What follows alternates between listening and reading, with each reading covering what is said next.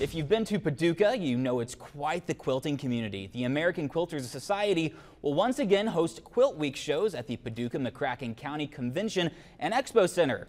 It's set for Wednesday, April 24th through Saturday the 27th. We have a link to buy tickets on our website. Well,